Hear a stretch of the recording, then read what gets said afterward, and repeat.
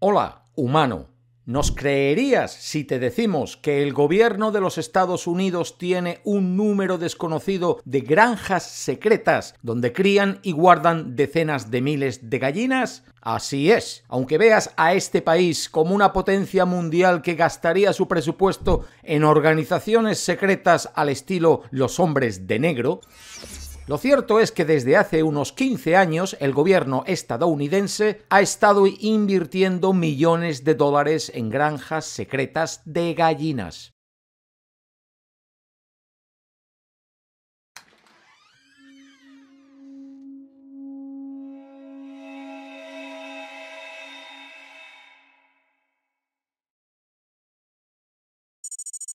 ¿Y por qué? Preguntarás. Pues para salvar tu vida. Caso de que aún no lo supieses, ya te decimos que los huevos que compras habitualmente en el mercado para desayunar son el ingrediente principal para la creación del tipo de vacunas más común que existe, la vacuna contra la gripe o influenza. Estados Unidos no solo ha estado en guerra contra las drogas y la pobreza durante años, también se ha estado preparando para la posibilidad de una pandemia. El Departamento de Salud y Servicios Humanos de los Estados Unidos, el HHS, tiene una reserva de estrategias para prevenir que los virus se propaguen. Invierte millones en mascarillas, respiradores y huevos, muchos huevos. Los mismos huevos de gallina que tú pensabas que eran solo para hacer tortillas vienen sirviendo durante los últimos 80 años para la producción de vacunas contra la gripe. Los científicos comenzaron a explorar el uso de huevos en la producción de vacunas en la década de 1930. Investigadores en Inglaterra llevaron a cabo pruebas en sus fuerzas armadas en 1937 y un año después, Estados Unidos descubrió que podía proteger a sus fuerzas armadas con la vacuna contra la gripe. Una vacuna funcional a base de huevo estaba lista para el público estadounidense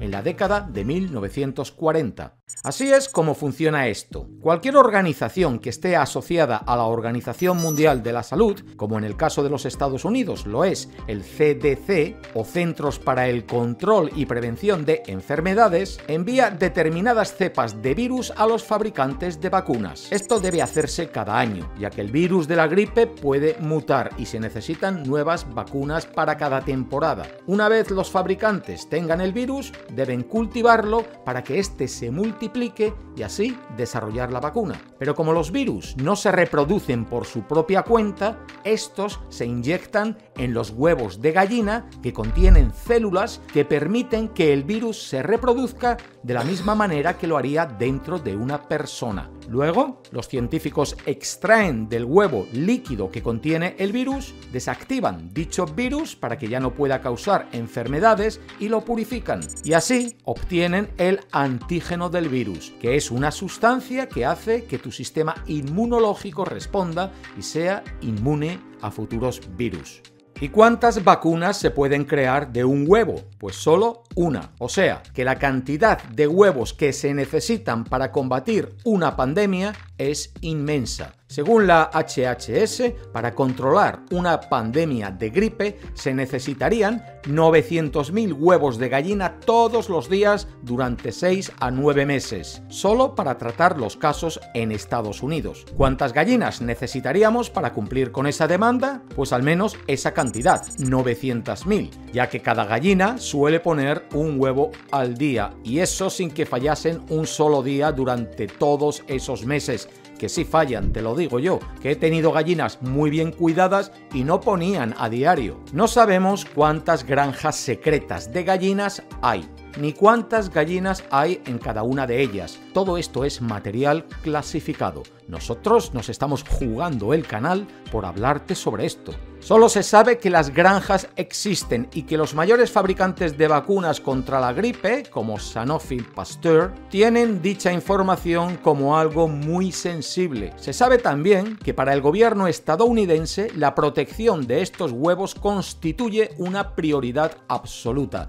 Ya que las consecuencias de un fallo serían nefastas. El Departamento de Salud y Servicios Humanos renueva anualmente su contrato con estas granjas por 42 millones de dólares para garantizar un suministro de huevos de alta calidad durante todo el año. Si esta línea de suministro llegara a ser comprometida, podría significar una escasez a nivel nacional de vacunas contra la gripe, así que el programa de seguridad para las granjas en ese contrato de 42 millones incluye vigilancia de cualquier transeúnte que se acerque a ellas, protocolo de bioseguridad y desastres naturales. Ya le gustaría al presidente de los Estados Unidos de América tener la protección que tienen las gallinas, o a ti comer un maíz de calidad similar al que comen estas trabajadoras emplumadas. Si te parece un chiste esto de pagar más de 42 millones de dólares para proteger a un montón de gallinas y sus huevos, no tienes más que echar cuentas. A la economía estadounidense, la gripe le cuesta aproximadamente 10.400 millones de dólares al año en gastos médicos directos y otros 16.300 millones en ganancias perdidas anualmente.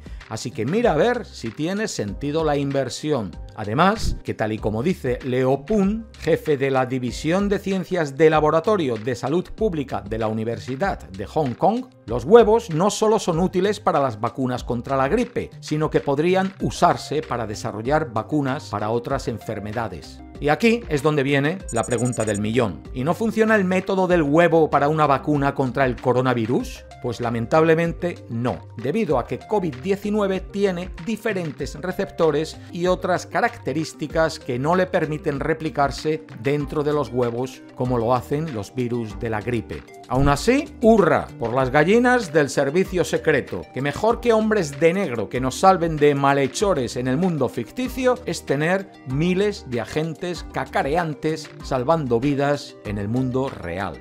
Hasta la próxima, la paz.